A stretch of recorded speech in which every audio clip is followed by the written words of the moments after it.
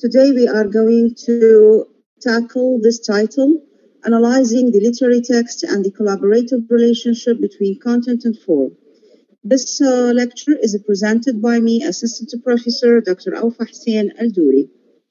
First of all, I would like to elaborate on certain terms I think they are necessary uh, for every student to be familiar with. Every student of MA literature has to be familiar with these terms. What are they? Literary theory, literary criticism, and the text.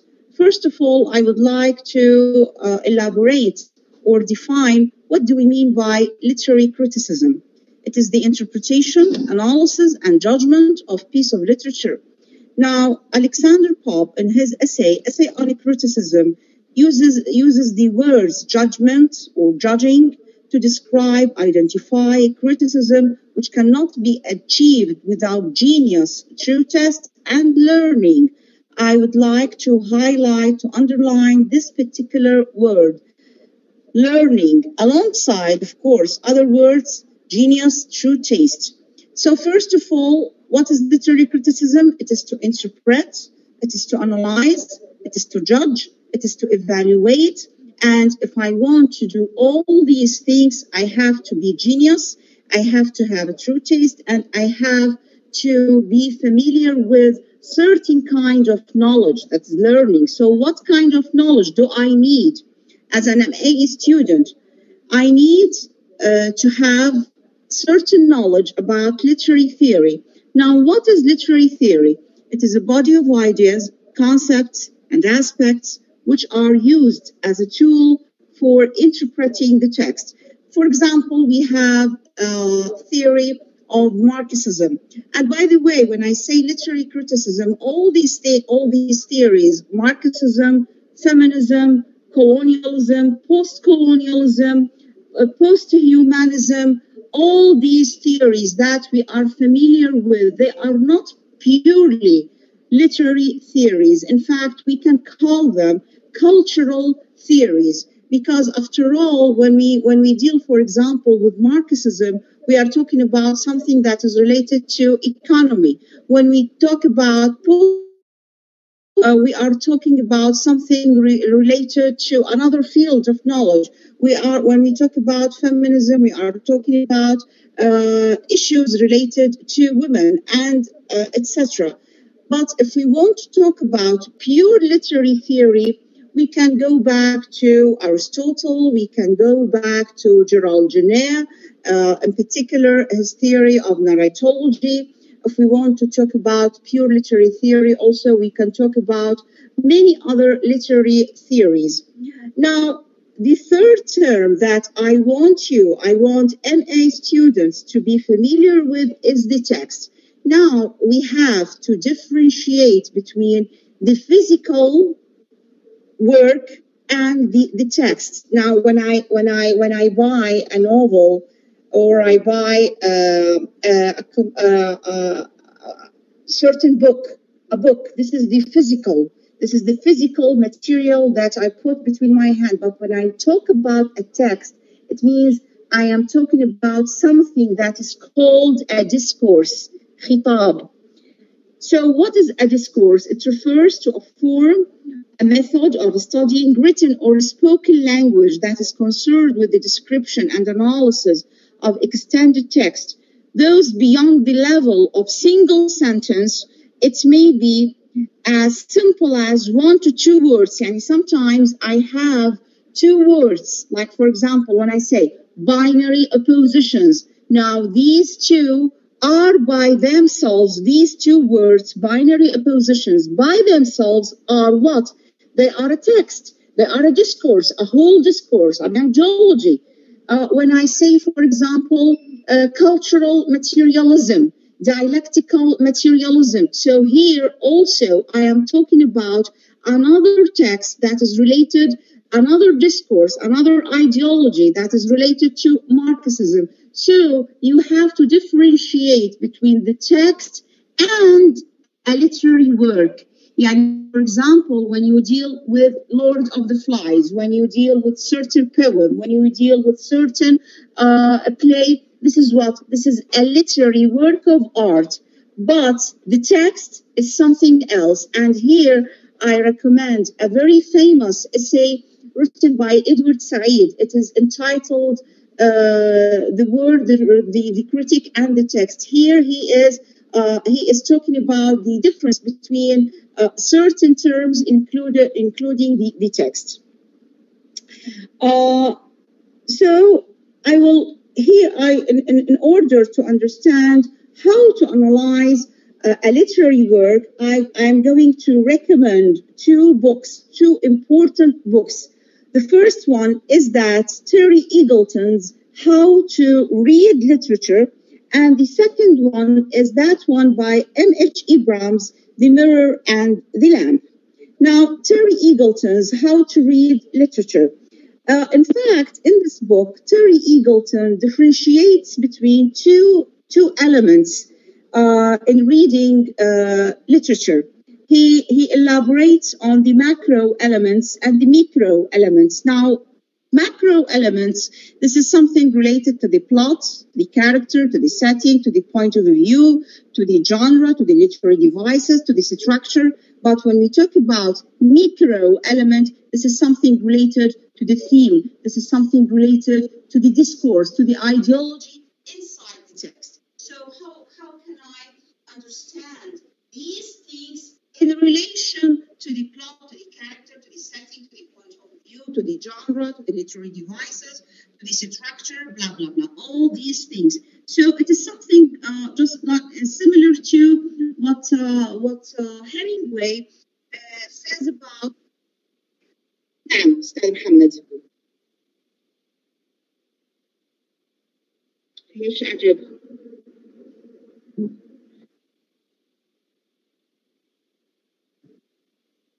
أي من الحاسبة راح تقرب معناته أوكي. هسه أوكي؟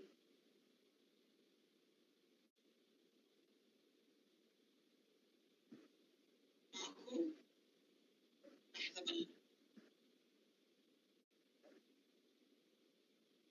أسمع أسمع. أسمع.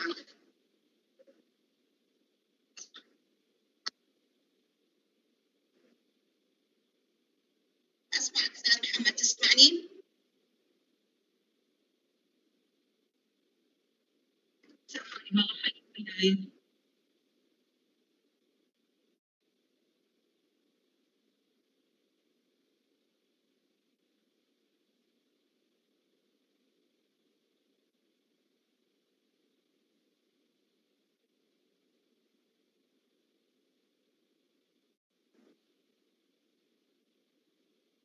ثواني ثواني هسه تمام؟ هسه أوكي. ثواني يعني ثواني لحظة. هسه لحظة.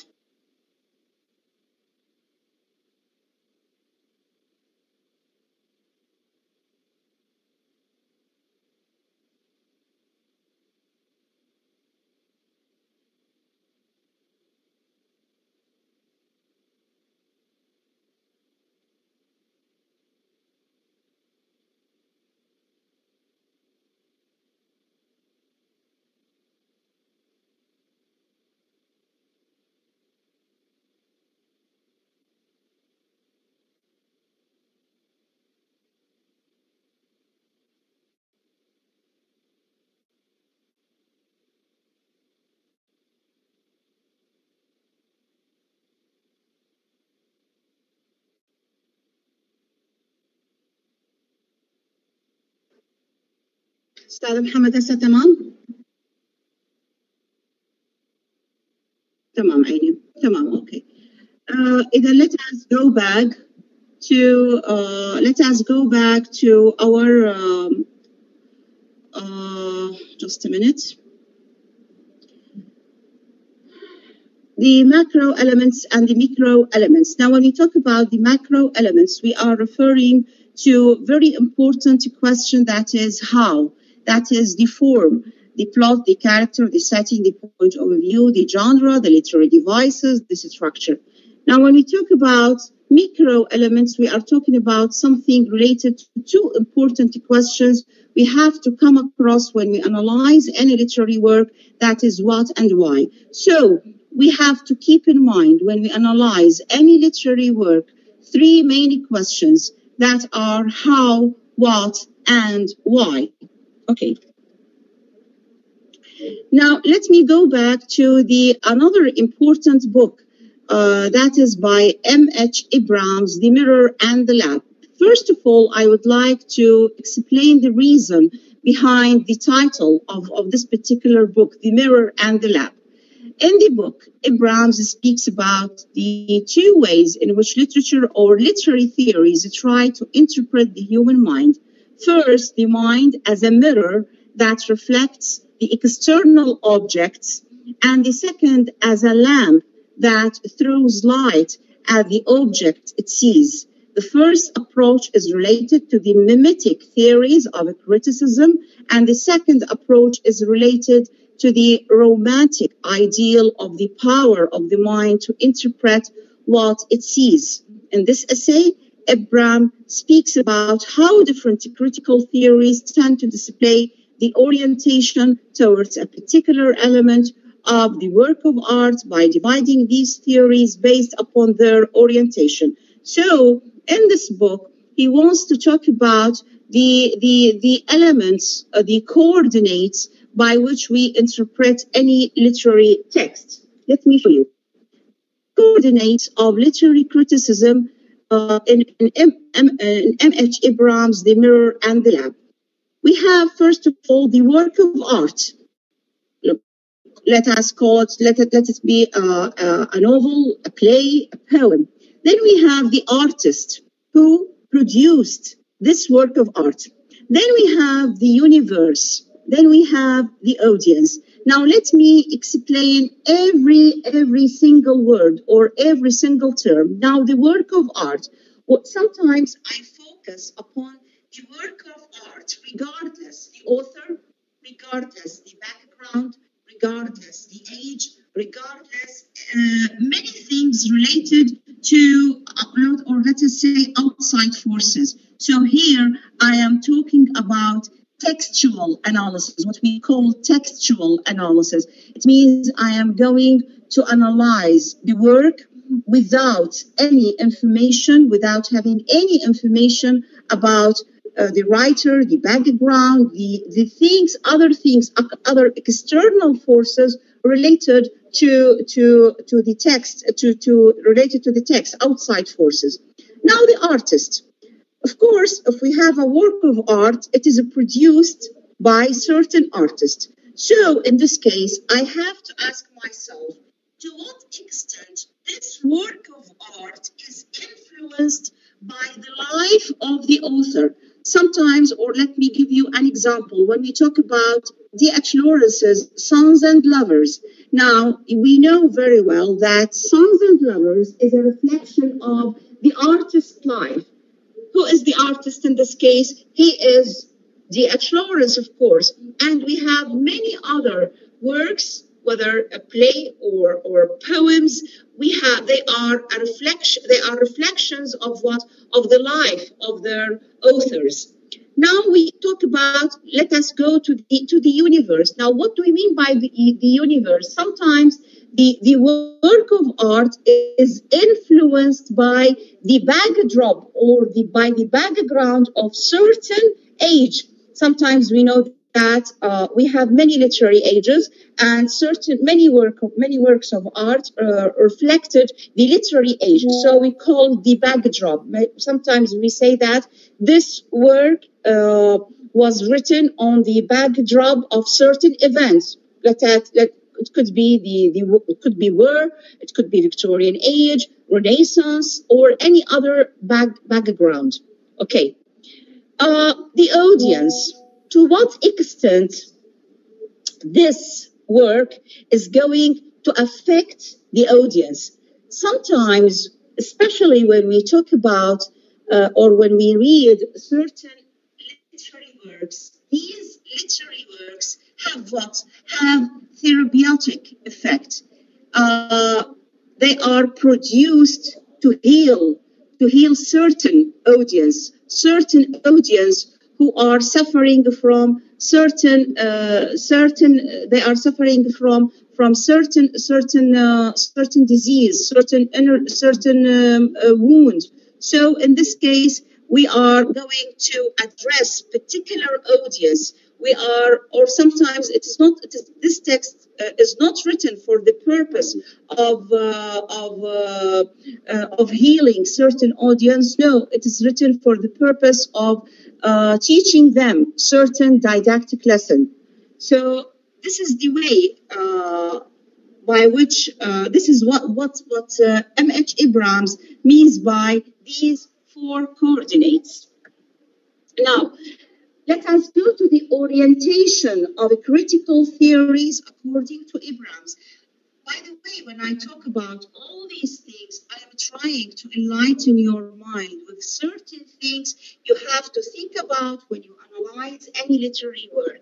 Yani, for example, when you when you when you when you find yourself in front of a work of art, you have to think of this work uh, regardless any other elements. And sometimes you have to think of this work with, with reference to, to its author. Yeah, and you have to think whether this book, whether this, this novel, whether this poem, whether this play has any what biographical elements.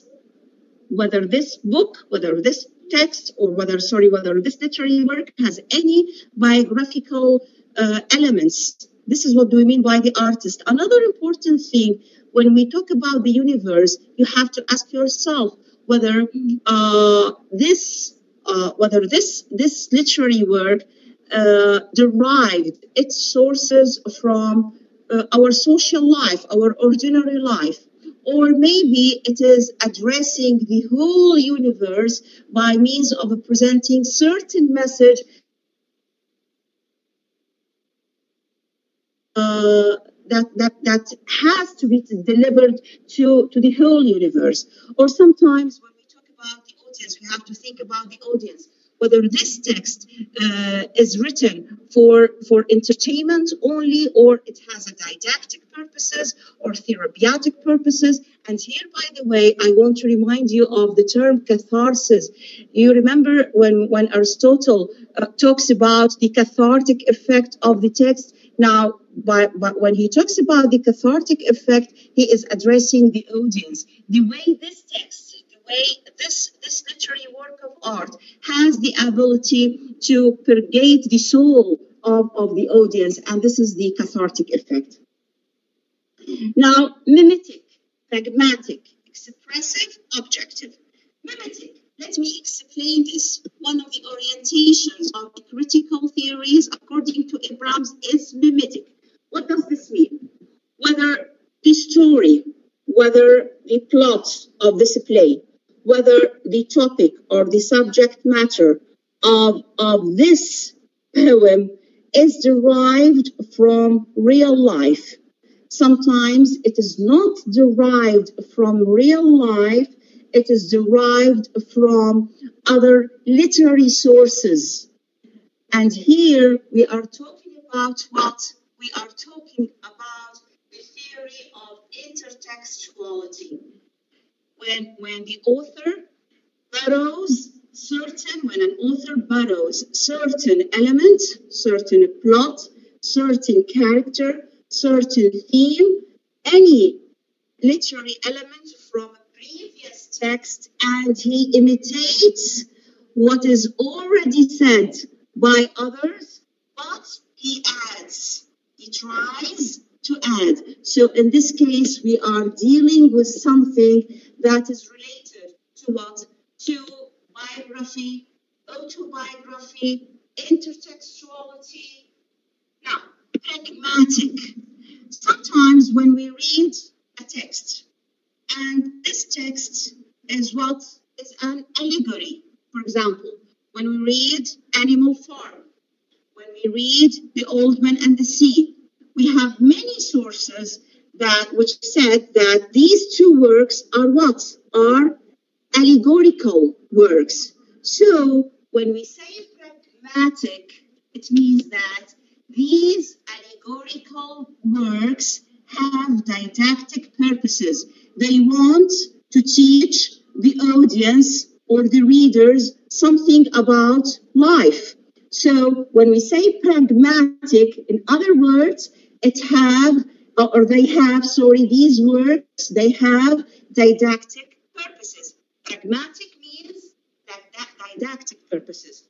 Expressive. Here we are talking about something related to psychoanalysis. When we talk about psychological realism, all the time we are dealing with what? We are dealing with, for example, certain techniques that uh, that reflects that reflect the, the psychological realism. For example, we deal with first point of view, uh, stream of consciousness technique, uh, inner conflict, internal conflict.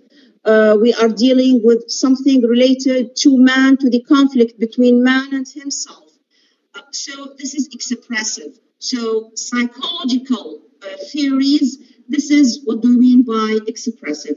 Now, objective we are dealing with the text as a text. We are dealing with the literary work as a literary work, regardless other other other things Regardless other things, we are trying to present an objective interpretation of the text, regardless the background of the author, regardless the background of the age, regardless many other external forces. So this what uh, Abrams uh, means by the orientations of critical theories.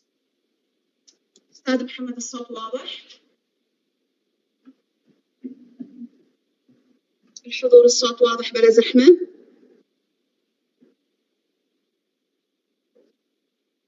تمام. Now uh, I'm going to give an example or how to read or, or how to analyze a fictional work. First of all, which is more important, is how to, uh, we have to read the text. We have to uh, read the text. This is very important. We have to read the poem, we have to read the play, we have to read the novel. It is very important. The first step, we have to read. We have to read the literary work. Then we have to identify the story's setting. Why? Because this provides us with the backdrop for the actions, the interactions of the character, the conflict, and which can influence the plot. Now, the interaction of the characters, in other words, the conflict among the characters, can influence what? Influence the plot and the story's overall message. So, in this sense, I am dealing with what? I am dealing with the question of what? What is the background? What is the conflict? What is the structure of the plot? What is the theme? Let me explain this, or let me give you uh, a very good example concerning the structure of the plot. Sometimes, or usually, we are dealing with a chronological order of a plot, resolution of, a, of an action, uh, climax, anticlimax, etc. But sometimes we have or we can see that the structure of the plot is what is fragmented.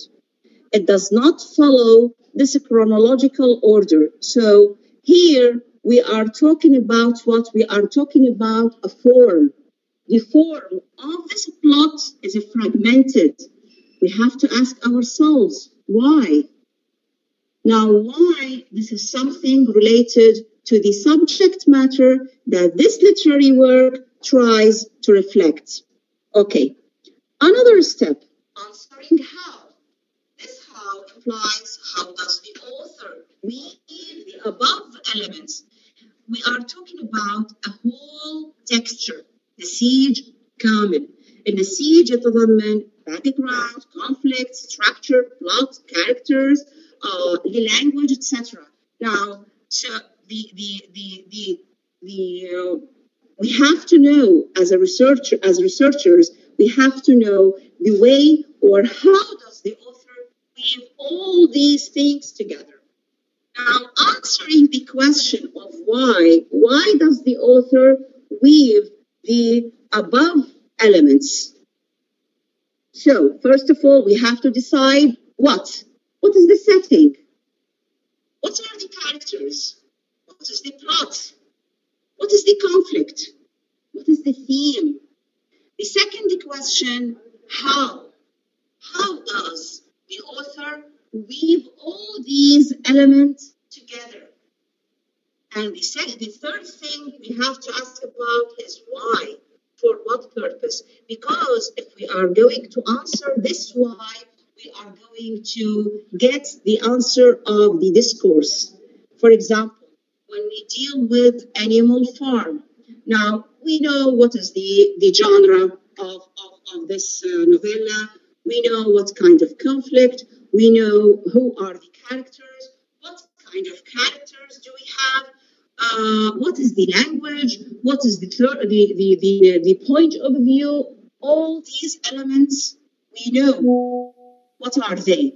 Now, the second question we are going to ask ourselves how does the author weave all these elements together? The most important question is why? What does he want to say? Why? If he is trying to say all these things, he is trying to say what? He is trying why? We have to ask ourselves these questions what, how, and why. Now, another important thing when we are going to decide what and how and why, we have the, the fourth step to identify key passages. For example, in, in Animal Farm, I want to, I, I identified the, the discourse. Uh, we have a class struggle, we have power relation, we have many other things related to the differences among social classes or the corruption of capitalist regime, etc. So I have to identify certain passages, certain extract that serve the message I want to focus upon. For example, if I am talking about uh, the Marxism or cultural materialism or dialectical materialism or binary oppositions, let us focus upon binary opposition, the conflict between uh, the self and the other. I have to choose certain quotations that serve my idea. The conflict between the self and the other, I have to choose certain uh, certain quotations that are going to be useful for my analysis. At the same time, this is the the the the, the extracts. These are the extracts from from the, the literary work, I have at the same time to choose another kind of extracts. Extracts or quotations or paragraphs from where? From the literary theory I adopt. Of course, when I'm going to analyze any literary work, I cannot exclude the literary work. If I am an MA student, I have, and I'm writing my thesis or my dissertation, I have to focus upon certain literary theory. So if I'm going to focus upon certain literary theory, also I have to be selective. And if I am if I am talking about Marxism or post-colonialism, I can't talk about Marxism or about post-colonialism from A to Z. No, I have to be selective. So if I'm going to be selective, I have to select also from the literary work certain quotations that go alongside the critical perspectives that I adopted. Okay? Uh, presenting the analysis and supporting the argument. Presentation and the analysis, presentation of the analysis and elaboration on the argumentative framework should be supported with evidences from the text and from the adopted theory. This include direct quotation, descriptions of, of uh, events or characters, action, references to literary and linguistic techniques. what does this mean? Sometimes I am going to focus upon the literary devices. Yeah, sometimes I'm saying that there is uh, a kind of, uh, or let me say, I am this this uh, this novel talks about carriage. So of course I have to have certain symbol, certain literary device that reflects this uh, this this theme. And another thing, linguistic device. What do I mean by linguistic techniques? Of course, what do, what do I have? Or let me focus upon the grammatical techniques.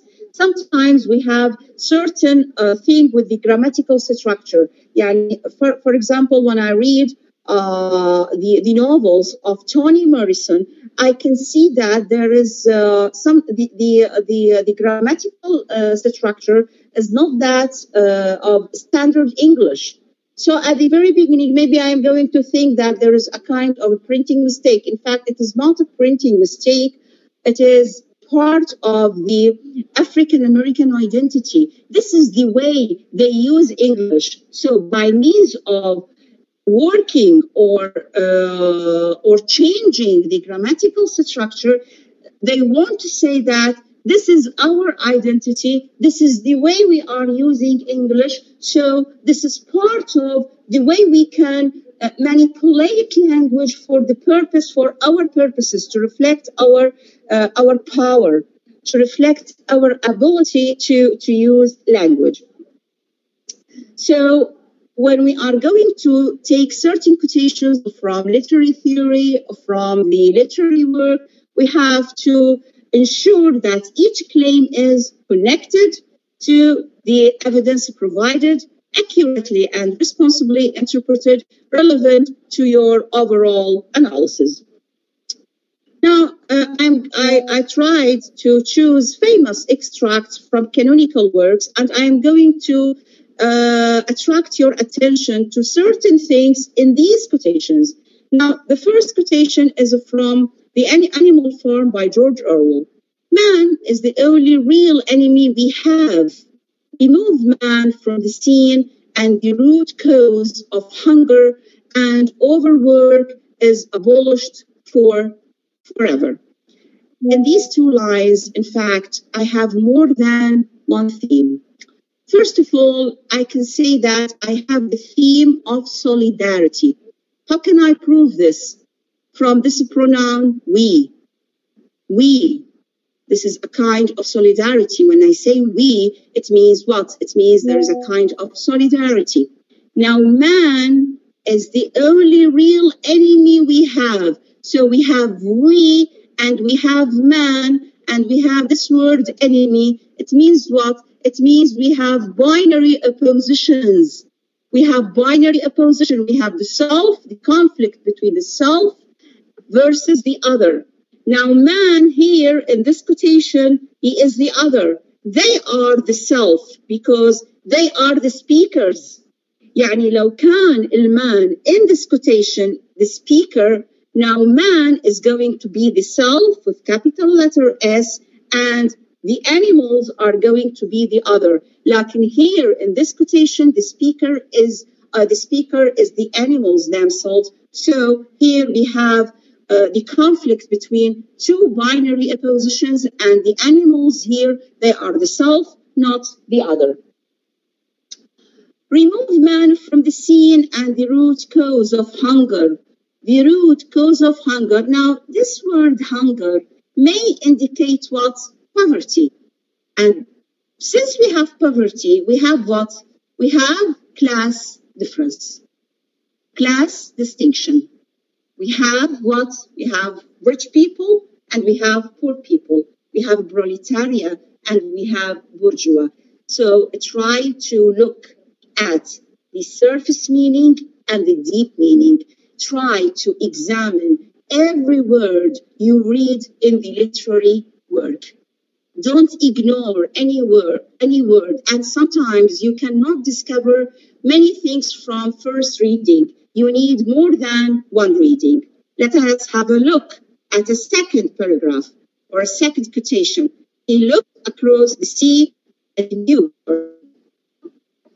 He looked across the sea and knew how alone he was now, but he could see the prisms in the deep dark water and the lines stretching ahead and the strange uh, undulation of the calm. The clouds were building up now for the trade wind, and he looked ahead and saw flight of wild duck etching themselves against the sky over the water, then blurring, then etching again, and he knew no man was ever alone on the sea.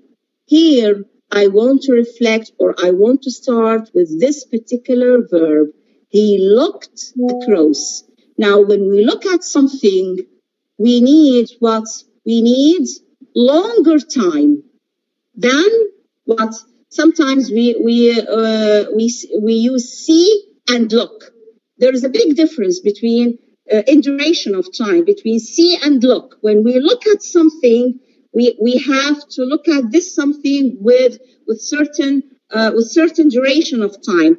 That's why if we are going to examine the sentences here, we are going to find they are full of details and they are uh, long sentences.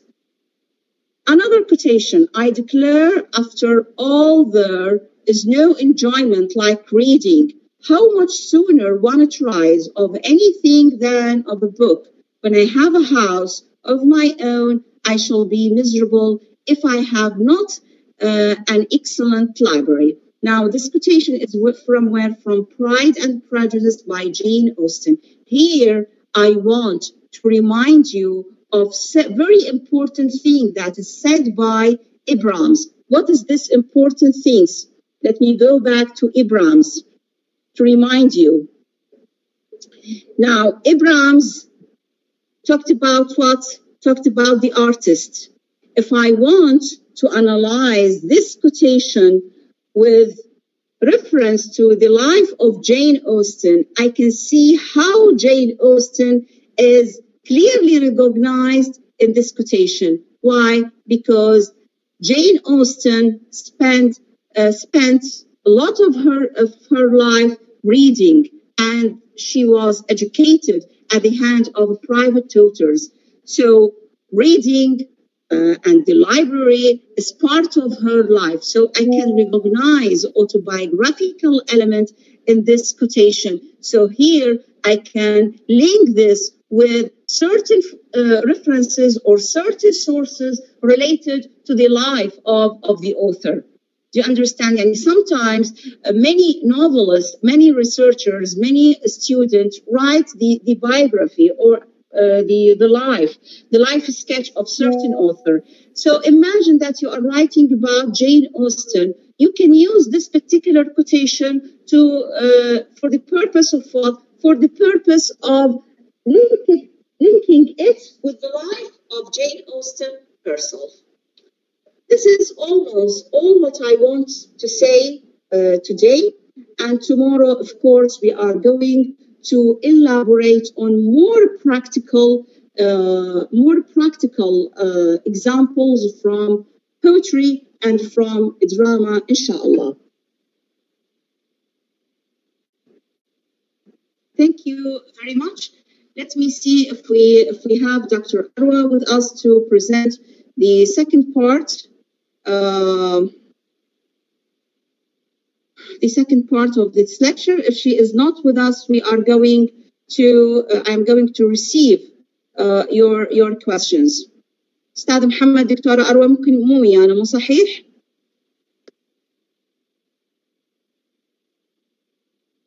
أعتقد مو موجودة.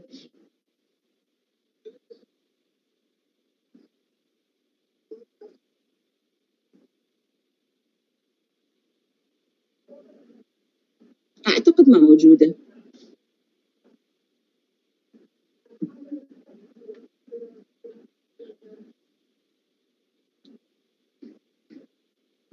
فإذا إذا أكو أسئلة خلينا نشوف الأسئلة اللي موجودة. ما موجودة. إذا راح نشوف الأسئلة اللي موجودة.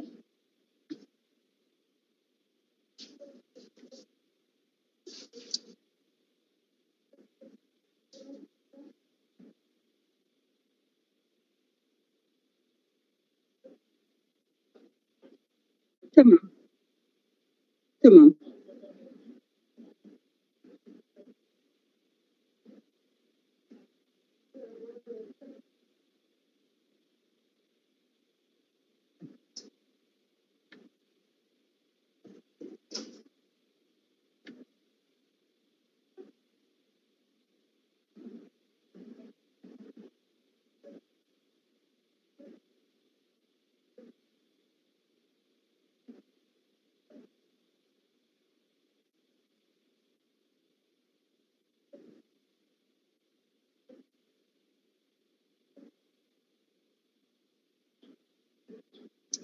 آه،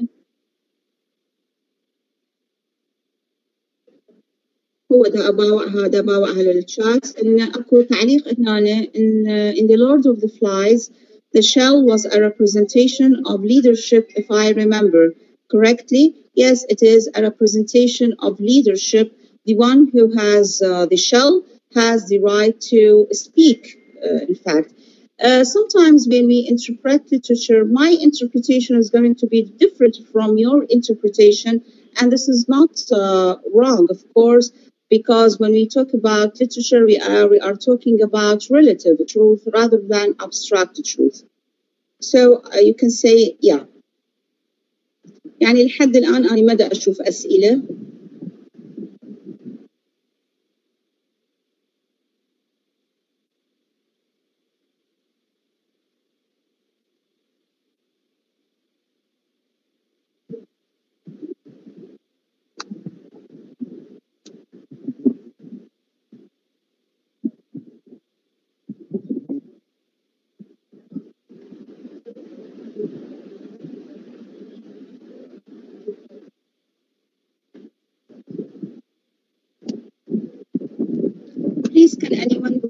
تايتل اكو أه هنا اكو احد يسال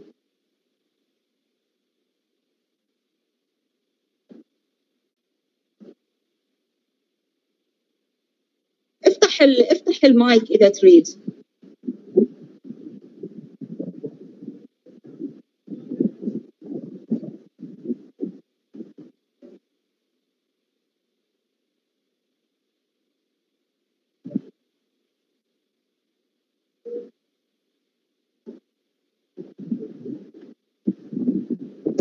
السلام عليكم شكرا أستاذ عليكم السلام أهلا أستاذ مصطفى أو خير صوتي مسموع نعم مسموع Uh, doctor, uh, my question is why don't we use our identity like African American and pronunciation, the words and else? Why always they are saying be native? Uh, no, of course, we, we use our uh, our own culture uh, nowadays in Anglophone literature. For example, if you uh, if you are familiar with Anglophone literature or literature of hyphenated identity, you are going to see many words that are, in fact, they are Arabic, but they are written by means of using uh, English uh, English uh, letters. Uh, and this is part of our identity. This is part of uh, the way we are trying to reflect on our, our culture. I remember one of my students, he, uh, he wrote uh, a study about Diana Abu Jaber, the language of Baklava. And she uses many Arabic words that are written in English. They are Arabic, but they are uh, written by means of using certain, uh, uh, by means of using English words. So, uh, English letters, sorry. So, this is part of the way we are trying to reflect on our identity. Uh, doctor, you mean uh, multiculturalism like uh, Arab American writers? Our Arab When they translate the word. Anglophone, Anglophone literature, yeah, Anglophone literature or Arab American literature, uh, literature of hyphenated identity. Uh, this is we we try to use in Arab American literature. We try to use to reflect on our identity and our our own language, our own culture. By the way, we have, for example, uh, uh, she tries all the time to use the, the letter kha in, uh, in many of her works, and we know very well that this letter Kha exists in, in Arabic language only. So this is part of uh, part of what we call it writing back the, the colonial uh, discourse. We are going to use your language but according to our own identity. That's why she has a very famous character in one of her uh, novels. Her name is Khadra. Khadra in particular. Khadra. Why Khadra? Because Khadra حرف الخاء لا يوجد في اللغة الإنجليزية. Thank you, doctor. With a pleasure, Mustafa. Yeah, Khadra. Yeah, you are right, Wait, You are right.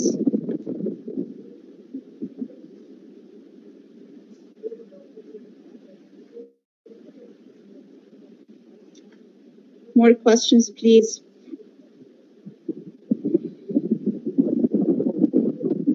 Confessional literature أكو نعم دكتور جاسم تفضل. السلام عليكم دكتورة. Thank you very much for this nice السلام. أهلا وسهلا دكتور.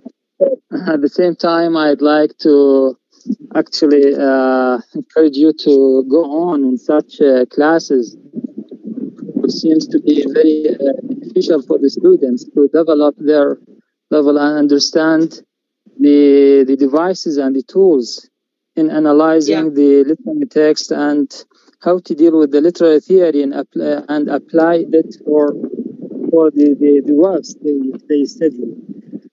Actually, it seems that I attended late and uh, um, uh, I don't know exactly what was about the, the class. I think uh, the class was about the literary theory and how can we apply it on the literary text, Victor? Uh, it was about, uh, first of all, we elaborated on the difference between the literary theory, literary criticism, and what do you mean by the text. And then I tried to elaborate on uh, Terry Eagleton's book, How to Read Literature and then M.H. Abrams's The Mirror and the Lamp, which is a very important book, and how can we link it with the literary analysis. Then we elaborated and discussed the most important steps uh, where we are going to start uh, the analysis, the, the interpretation, and what are the most important procedures that we have to follow when we analyze uh, any literary uh, literary work. Then I try to uh, elaborate on certain codes, famous codes from canonical works, and what are the most important things that we can get from certain quotations by means of linking the content with the form. Uh, actually, this is something very great. Uh, I I see that the literary students find difficulty when he or she comes to apply the literary theory exactly how uh, on the literary text and yeah, it seems that right. we'll try to solve this uh, seems everlasting problem for the literary students. Actually, this is yani, the exact procedures that the students should follow in order to be able to analyze any text in a correct way. That's great, Victoria. And uh, actually, Thank I wish I could prepare uh, content or uh, some uh, material to to take part in this conference, but inshallah, in the next inshallah, time, inshallah. I, will be, I will take part in this and I'd like to say hello to you and uh, at the same time, Thank hail you your Thank uh, you. effort. Thank you very much Thank and you. wish you all success and a well-being. Thank you. Thanks. Thank you very much. Uh, we have Lina. Lina, she uh, she is asking, do you think anyone can learn about the art of criticism if they simply read more, aside from those with a pure talent in topic, of course. You have to have talent, you have to be genius, and to, you have to read more. You have to read more about the three that you are going to adopt. And if you are analyzing any literary work by means of Marxism, you have to read more about Marxism. And you have uh, also to balance when you uh, analyze any literary work, you have to balance between the uh, crit- between criticism and literary theory.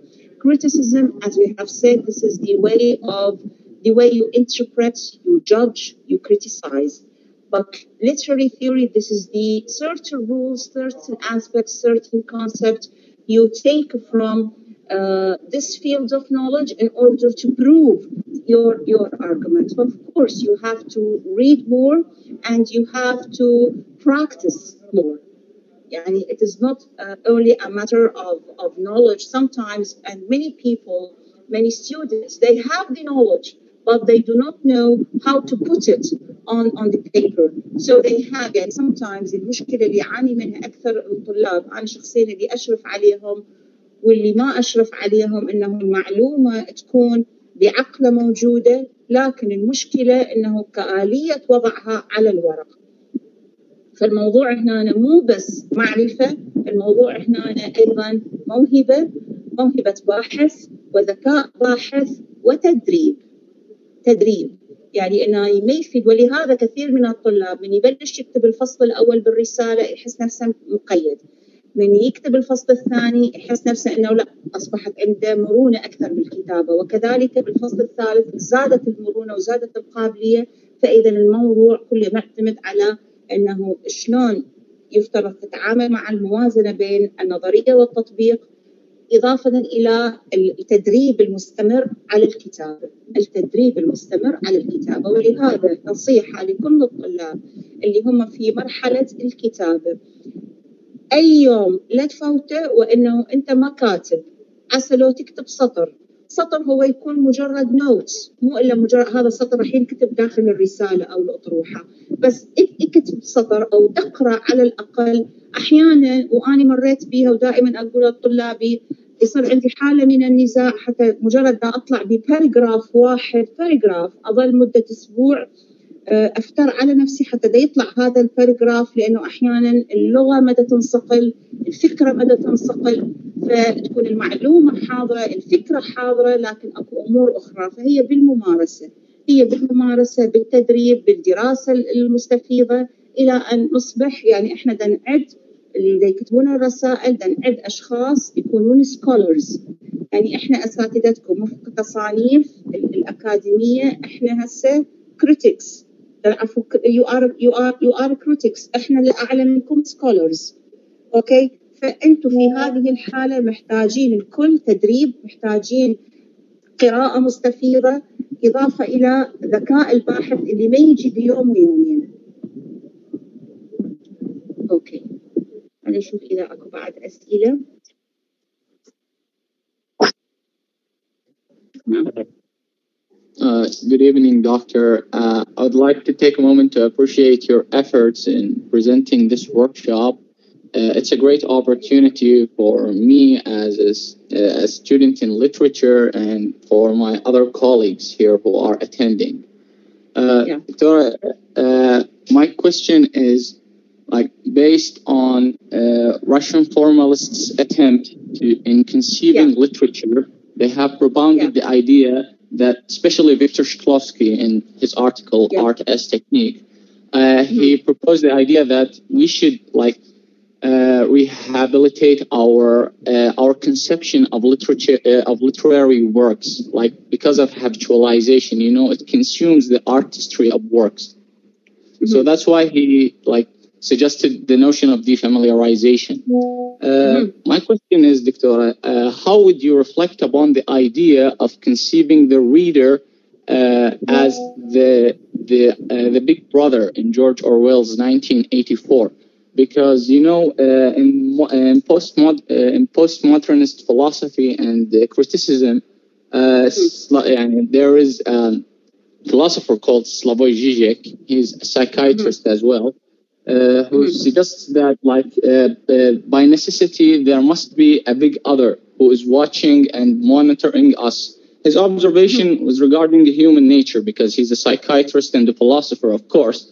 But, like, if we want to take this framework and apply it on George Orwell's 1984, with like keeping in mind the the poetics of Russian formalist criticism, how would you reflect upon this idea? Thank In fact, I'm not sure uh, I uh, fully comprehend your, your question. But concerning the, the readers, let me let me answer the, the first part. And now, how can we deal with the reader, or can we consider the reader as the big brother who are watching the the novelist? You mean this? No, Victor, not the novelist, but like the characters. You know, like because it's a control. Yeah, exactly. Because it's a controlled society, everything is monitored. So, like, how would you reflect upon this idea? So you the are, reader you are talking about you are talking about I think the the sympathetic and the empathetic relationship between the reader and the character, right? Uh, well, Victor, I want to hear your opinion about this idea. Okay, uh, okay. You tell me okay, what you think. Here, I, I want to take you back to to this. Uh, let me see. Yeah, to the the audience. Now, this is one of the coordinates this is one of the coordinates that uh, M.H. Abrams talk, talked about in his book, The Audience. Now, where do we place the audience in relation to the work of art? The way this audience are influenced by this work of art. In this case, maybe we have we are going to uh, find the way certain reader is going to identify himself with certain character, but there is a kind of call and response between the character and certain reader. So here we are going to uh, establish a kind of sympathetic and empathetic relationship between the character and certain reader. Yani a certain reader is going to find himself in certain character. This is uh, okay. So he is going to appeal. This reader is going to appeal to this character. Sometimes this character, or maybe we have couple of characters who are going to work to diagnose certain problem, a certain society, and we ourselves as مثلا as Iraqi people or maybe as individual person I suffer from the same problem in my society. So here we are talking about uh, on the level of uh, uh, community, on the level of uh, collective experience, not individual experience. This is the, the first part of, of your question. Now, you talked about Shklovsky technique of discovery, right? Yes, yes, Victor. Famous, technique as discovery, and he talked about two kinds of technique, adequate and inadequate technique. And he talks about the technique of defamiliarization. So sometimes yes. uh, when we talk about a drama, now you know that uh, in, uh, in, in, uh, in traditional drama we have the fourth wall. There is no relationship between the, the audience and the character. Yeah, the characters they do not try to address the audience directly. Now, with experimental techniques of modern drama, we have what? We have the removal of the fourth wall and we have a direct, sometimes a direct conversation between the characters and the, the audience. So this is a kind of defamiliarization that is going to be suitable to the problems of, of modern age. دكتورة يعني مثلا أكو كانت مسرحية اسمها الخيط والعصفور قديمة كلش. يطلع واحد بالمسرحية يقول يا سادة يا كرام هو الراوي هو الراوي بالمسرحية. بالمسرح الكلاسيكي بدل الراوي ما عندنا راوي عندنا الكورس. لكن هذا نعتبره مسرح حديث فدا يجي أكو يشيل عنصر الفورث وول فدا يصير removal of the fourth wall. سوى مخاطبة مباشرة للأودينس. So this is uh, this is Bertolt Brecht's epic theater. أها epic theater لا epic theater by the way لا epic theater ذاك التكنيك of alienation technique of alienation نعتبره هو كليته نعتبره experimental بالتكنيك of alienation انت عندك بلاكاردز عندك سبوت لايتس عندك سونجز هذا شنو الهدف من عنده؟ الهدف حتى يسوي ديفيشن من التراديشنال دراما بالتراديشنال دراما اللي حكى بيها ارسطوطل أنت عندك كثارتك افكت لكن هنا بالمودرن دراما in order to shock the audience or to make the audience remember that everything in front of them is nothing but a performance. They have to think about what is going on. They have to respond intellectually, not emotionally. يعني هنا ما يريد يكون أكو cathartic effect، يكون يريد يكون أكو intellectual response. فهذه هي أيضا فهذا كليته شكله بس قال عليه دي familiarization بالمودرن ايج أصبح يسمى الاكسبيرمنتال تكنيك واللي يشمل ضمن الابسورد ثياتر والتكنيك اوف الينيشن واللي يدخل من ضمنه أيضا اللي اللي حكى به السيستم اللي حكى به أبو اماجن إماجن إف نسيته ستانسلافسكي. يعني هواية تقنيات مسرحية إضافة إلى أنه أكو تقنيات شعرية الإليبسز بالتقنيات الشعرية أو موضوع الفيجواليزيشن. هواية تقنيات شعرية ظهرت وكذلك تقنيات روائية كلها هذه نسميها experimental technique إذا أريد أرجعها للشيء اللي حكى به شكلوفسكي تطلع دي familiarization خروج عن المألوف Uh, thank you very much for thank you very much for your answer, Victoria, and like we have the honor to attend one of your workshops. Thank you very Thank much. you very much. It is an honor for me. Thank you very much. أسئلة أخرى؟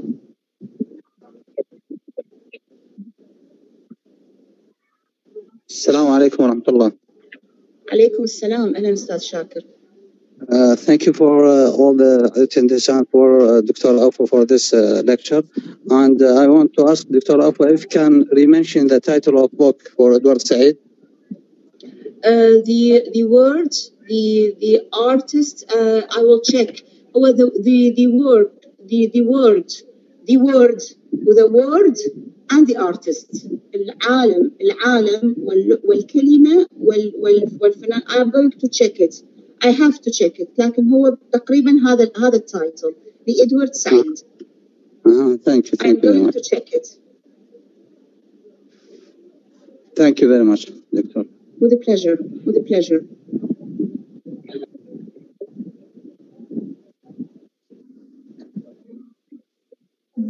Good morning, doctor. How are you? Good morning how are you good evening fine how are you Shahad I said good morning. Sorry, this is because of stress. I'm so stressed now. You know, a psychological. don't worry I'm sorry. I'm sorry for that. Um, doctor, I just have a question uh, about Yeah, sexuality and the relationship between form and content.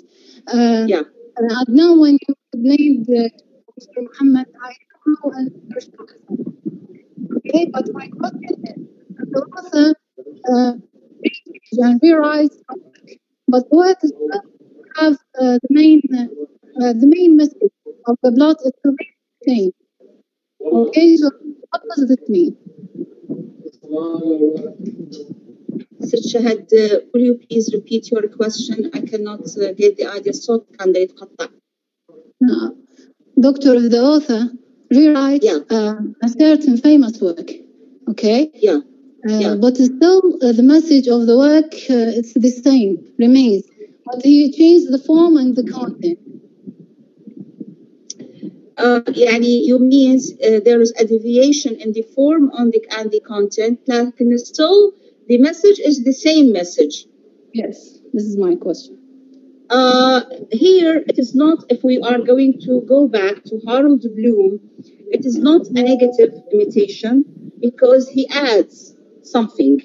He adds a new form, he adds a new content. And by the way, you are saying the same message, but when we talk about the content, uh, the content is, is the theme, it is the discourse, it is the text inside the, the literary work.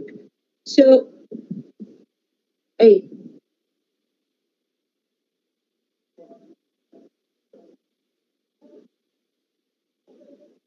Yeah.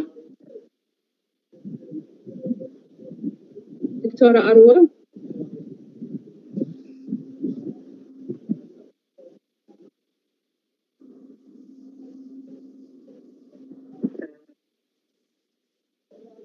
تمام آه، آه، فست شهد هنا في هذه الحالة انه we do not have negative imitation يعني. هنا إذا نرجع على اللي قالنا إياها إبرامز. إبرامز إيش قال؟ بالكوردينيتورز قال إنه إحنا عندنا من الكوردينيتورز هي قال الميمتك الميمتك بهاي الحالة إنه هل هي purely pure imitation without any ads without without any addition? لا. هنا أنت تقولين هو أكو إضافة بالتكنيك. ففي هذه الحالة راح نجي إنه السؤال هي بما أنه هي ليست مجرد تقليد فإذا كان أكو هدف من إعادة كتابة هذا النص هذا يعتمد الموضوع it depends upon your reading whether this text this new text is a writing back to the original one or it could be what it could be uh, a kind of placing certain certain uh, fictional elements or certain literary elements in a new context تتذكرون من شنو اقول لكم على ماري yeah. شيلي واحمد Saadawi. he borrows the, the, the same character لكن he places the same character in a new context that is the trauma of Iraq in the aftermath of 2003 mm. but hi, it depends upon your own reading you you identified the what and the how but still you have to answer the question of why. And why depends upon your own reading. And I cannot answer your question randomly and by means of using generalization. No, I have to read the text in this case. If you're asking me about a particular text, for example, if I'm going, you are asking me about uh, Robinson Crusoe and Foe by by Coetzee, I'm going to say it is a writing back. If you are asking me about the relationship between The Tempest and Margaret Atwood Hag-Seed, I am going to say it is a writing back from a feminist perspective. If you're asking me about uh, for example, uh, what you call Jane Eyre and the Wide Sargasso once again, it is a writing back from a post-colonial perspective. If you are asking me about Ahmed Saadawi and Mary Shelley Frankenstein, uh, I'm, I'm going to say it is intertextuality by means of varying certain things to put it in a new context. It is not a passive imitation. كل هذه مو passive imitation.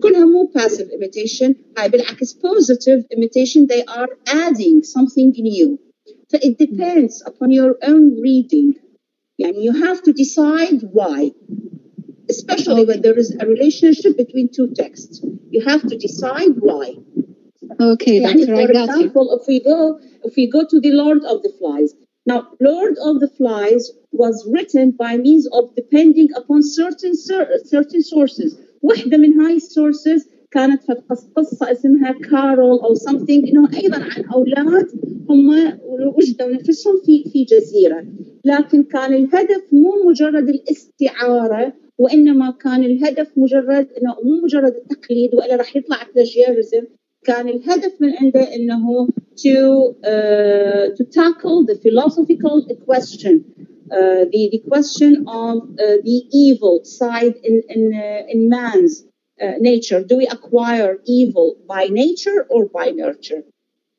مثلا إذا تسأليني عن شكسبير شكسبير لما إنه استعار هو نفس الثيمة نفس الأفكار لكن he adds to the original to the original literary work by means of language. فهو أكو addition. هو ما قلد حرفيا شكسبير. هو أخذ الثيمة أخذ القصة صحيح لكن هو قدم شيء جديد باختيار اللغة. اللغة جديده نوعية اللغة المقدمة فإذا هو ضمن الحدود المسموحة ما كان تقليد أعمى فبالتالي إذا تقليد أعمى هو بلاجيرزم yeah. أتمنى أكون جاوبت سؤالك Yes, doctor, I got you. Thank you. My pleasure. Yeah. سؤال آخر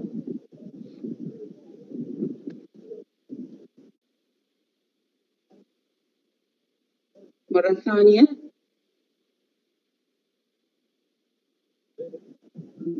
أعتقد هي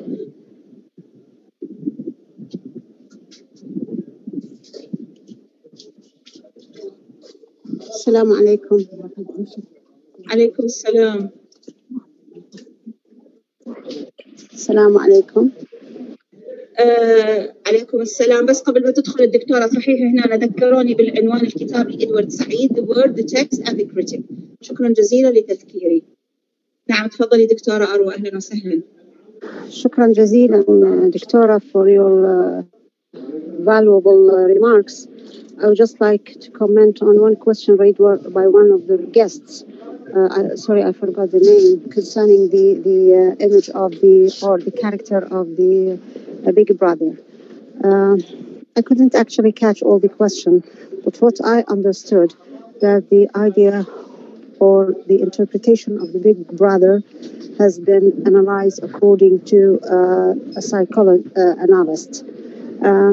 and this is actually and he asked you about how do you how do you uh, reflect on this character or you personally uh, i would like to say that this goes with the uh, critical viewpoint uh, or actually uh, which is which became uh, flourished in the in the post-structuralist school or deconstruction school that one text produces uh, hundreds of texts, or that one concept can be interpreted uh, or given uh, multi-layered meanings. So accordingly, this is how we uh, react to the character of the Big Brother. Maybe another uh, we can say is see this character from the other side, not as a passive or a negative character or some harmful character to the society, but if we see it as a monitor uh, to we, yani, if we say that the big brother is there, inside us, inside each one of us, there is a big brother monitoring us, uh, checking out our uh, faults uh, preventing us from uh, committing mistakes, then this would be uh, a positive reaction to this character or a positive interpretation interpretation to this character. And this shows that literature there is nothing called uh, incorrect in literature because in literature, and this is actually the uh, creativity of literature and in the study of literature. Uh, literature everything in literature can be true. It depends on what argument you make and how you are able to defend your argument according to a, a specific uh, theory framework and defending your uh, critical viewpoints by uh, conne- connecting between this theory framework and uh, the textual analysis. Thank you very much. Thank you very much, Dr. Arwa, and I think your your uh, your remarks are, are related to a question that is uh, asked by Sermet Majid. Uh, he asked about whether we can apply multiple theories upon one selected work. Yeah, of course, we can do it. We can apply uh, upon one work many different many different literary or cultural theories.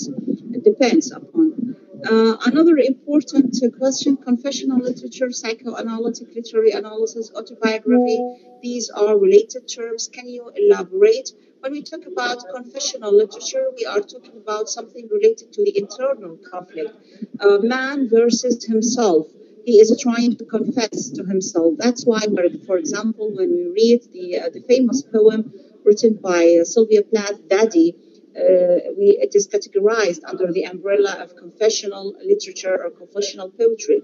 When we read uh, also for Edgar Allan Poe, The Black Cat, uh, he uses the pronoun uh, I or the first person narration I uh, to confess, and he says this uh, openly in, in, this literary work in particular.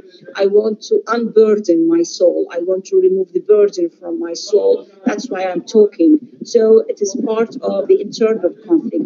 When we talk about internal conflict, we are talking about something related to psychoanalytic literary criticism.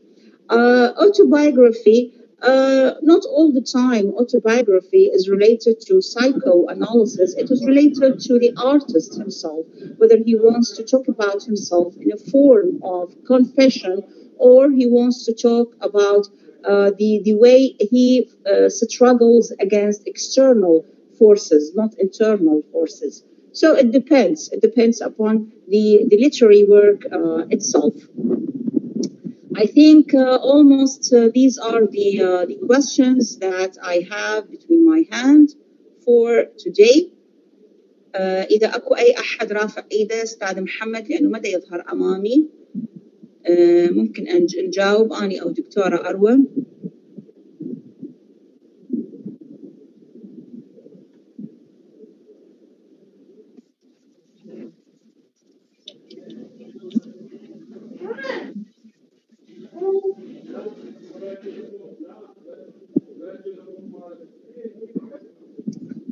أكو سؤال لفاطمة الدوري I have a question for Dr. Alpha. How can we be selective while analyzing a literary text and choosing codes that serve our purposes? Uh, uh, Fatma, for example, when you analyze a literary work and you are going to apply theory of feminism uh, upon upon this literary work, you have to concentrate upon certain concepts that you find in this literary text. Uh, for example, when you analyze, let me talk about once again about Lord of the Flies because I guess many students are familiar with. Uh, you are talking about the, the struggle between two different classes. So since we have a struggle between different classes, we have power relations. So you have to focus upon certain quotations that reflect uh, this this struggle uh, when one is stronger than the other. So he uses certain kind of words, certain kind of phrases, certain kinds of expressions to reflect on his power. So once again, it depends upon your own reading. It depends upon your own reading. You have to read more. You have to dig deeply inside the text in order to discover uh, its jewels. يعني أحيانا تمرين على نصوص النص عبارة عن أرض منبسطة كل شيء ماكو بيه وأحيانا فأنت مضطرة تقرأين قراءة أولى قراءة ثانية وتحفرين طلاسم النص أحيانا ما يحتاج النص واضح مثل أني منفان الجانرا مالته واضحة واستخدم الكاتب كتب فيري تيل مع العلم أنه هي النوفيلا هي ليست بفيري تيل فرح نسأل السؤال. ليش كتب فيري تيل آه، الصراع هذا هل هو allegorical آه، إلى آخره من الأسئلة الكثيرة. فهذا يعتمد على أنه أنت من أي زاوية تريدين تنظرين للنص. دكتورة مها أعتقد لها السؤال. أستاذ محمد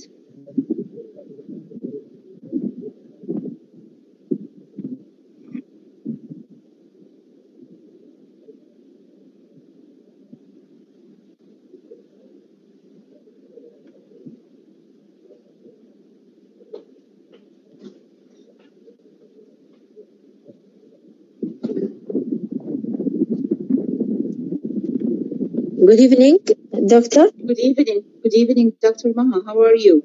Doctor, uh, uh, fine, thank you. Uh, Dr. Maha Hindawi, uh, prof in Arabic uh, language, uh, especially in, and literature, especially novel. Um, and I, I'm student. I'm a student in um, evening studies in College of Arts now. Um, Thanks a lot. Uh, excuse me. Uh, first, uh, thank you very much for your uh, lecture. Um, uh, I appreciated uh, all your um, information in this lecture. It's very useful. Please, would you please um, present in another time um, a lecture about the politic novel, politic novel in uh, American literature and in uh, Engl- uh, England literature, please, because I uh, um, I'm very interested uh, interesting with uh, this uh, kind of novel. Uh, and I want to uh, make a contact uh, between uh, this kind of novel in uh, American and uh, England uh, literature with the um, Arabic literature, uh, Arabic novel uh, in this kind of literature uh, I mean, political novel, please. Comparative, yeah. You want to, uh, you want us to present something about comparative literature uh, regarding the. Uh, yeah, I have a big question about about the elements and um, the. Uh, about the elements uh, uh, of the uh, novel in another literature, England or or American uh, literature, please. Yani, by the way, uh, when we talk about politics, pol- we are surrounded by politics everywhere. Even in, inside our houses, we have politics. The relationship between the father, the mother, and the children. Uh, and one of uh, our guests mentioned uh, a very famous novel by George Orwell, 1984, and the Big Brothers. And there is a very famous concept tackled by Foucault that is surveillance. Uh, big brothers are watching you الكاميرات اللي تتبع على الحكومة من تراقب ال- الأفراد فهذا البوليتكس وأيضا uh, there is another important kind of political novel or political literature which is related to prison literature أدب السجون the way the, the Um, I know it. detainees- Uh, excuse me, doctor. I know uh, أدب السجون, but uh, I uh, especially mean uh, the uh, politic uh, novel, um, like novel, you mean the- after, after uh, September 11 um, uh, uh, يعني um, before or after it. Uh, I, uh, yeah, yeah. Um, uh, is there any um, is there any ki- يعني special kind of technique when we write a political uh, novel uh, in American uh, literature, uh, for example? Is there? Uh, I and I want, sure. yeah, I'm not sure. and I want to. Uh, sorry, yeah. Uh, sorry, I'm sorry, I'm sorry, uh, and I want to know what uh, the name of the uh, important and famous um, uh, writers and authors in uh, politic novel in American uh, literature, for example.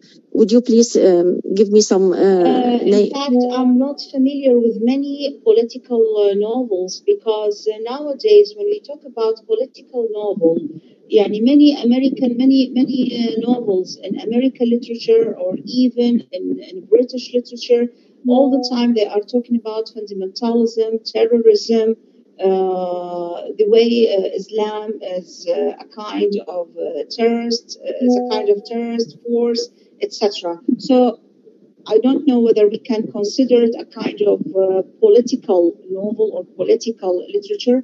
Like, after all, after all, I do believe that when you talk about politics, generally speaking, you are talking about power relation. And when you talk about power relation, you are talking about uh, Foucault.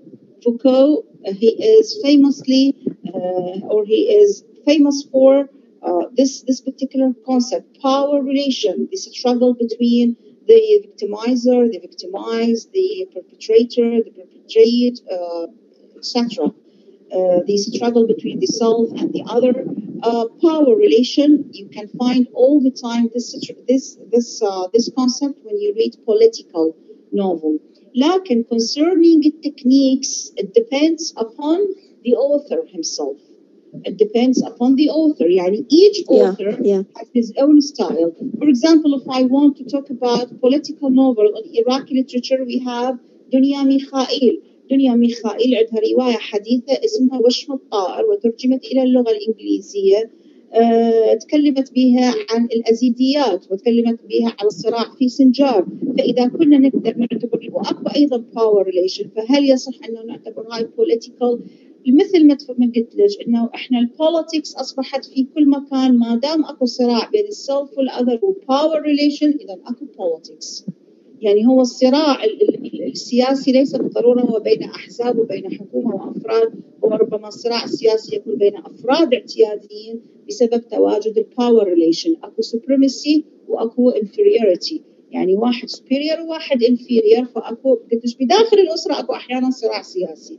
من يتحكم بمصدر الدخل فبالتالي هو يفرض السياسة اللي يريدها ويفرض الأفكار اللي يريدها ويفرض متى ما كبروا الأولاد وأصبحوا هم اللي يصرفون هم اللي يفرضوا سياستهم السياسة في كل مكان فلهذا أنا Uh, yeah, I I know. Uh, يعني um, uh, politics is in everywhere, but uh, uh, in Arabic literature, especially in the novel, in Arabic novel, uh, for example, we have um, uh, the um, uh, Arabian Spring, uh, and how uh, the novel, the, uh, and how the novel can oh and how the novel uh, reflect this um, um, idea and this uh, um, ele- elements in the um, in the society and uh, um, uh, translated uh, uh, in, in the fiction. هو شوفي اذا إحنا تريدين تدخليها من باب الدراسات المقارنه ممكن انه تطرحين عملين ادبيه واحد يكون in the aftermath of, 2000 of uh, September 11 أحداث 11 أيلول.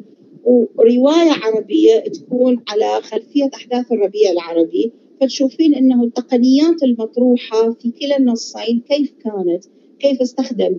هاي رواية كتبت على خلفية أحداث سياسية وهاي رواية كتبت على خلفية أحداث سياسية. التقنيات السردية أو التقنيات الشعرية أو التقنيات المسرحية اللي اعتمدت في كل نص ما أقدر أجزم أنه أكو قاعدة ثابتة لأنه كل شخص أصبح يكتب بأسلوب معين بتقنيات معينة ممكن يكون متأثر بشخص ما ممكن يكون غير متأثر ممكن يكون متأثر بعدة كتاب يعني فيعتمد ستايل هذا ستايل كتابة ما أقدر أحدده Yeah. فلهذا Yeah, إنه yeah, تقولي لي yeah. أكو قاعدة ثابتة مثلا أقدر أقول لك بشكل عام بالمودرنزم أنا عندي شيء اسمه سايكولوجيكال رياليزم وكانت بها البلوت فراجمنتد عبرنا بالبوست مودرنزم قال لا رجعت ال- ال- الرواية بها كرونولوجيكال اوردر جينا على الميتا مودرنزم اللي هو إحنا العصر اللي عايشين به حاليا صارت حالة الاوسكيليشن بين المودرنزم والبوست مودرنزم ف depends يعني it depends upon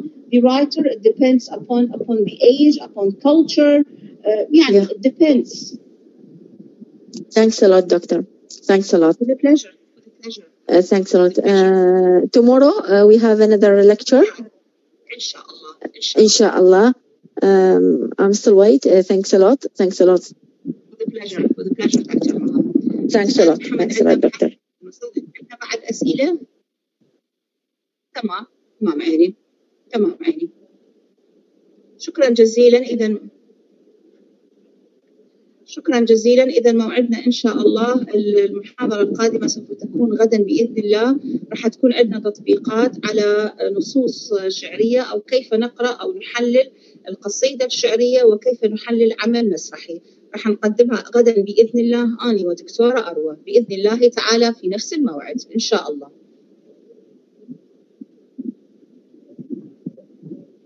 أهلا وسهلا.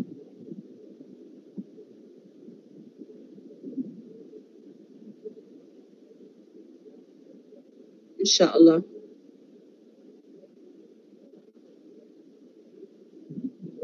شكرا شكرا جزيلا شكرا جزيلا